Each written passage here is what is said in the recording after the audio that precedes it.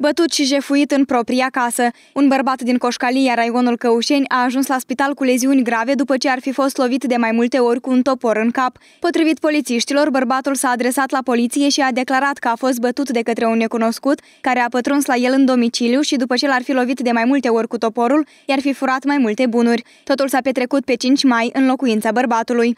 Un bărbat în vârstă de 64 de ani a fost atacat de o altă persoană cunoscută prin aplicarea loviturilor cu partea lată a unui topor în regiunea capului. I-au fost sustrași bani și un telefon mobil.